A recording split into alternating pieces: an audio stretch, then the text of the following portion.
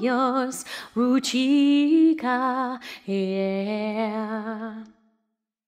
One happy birthday dot com.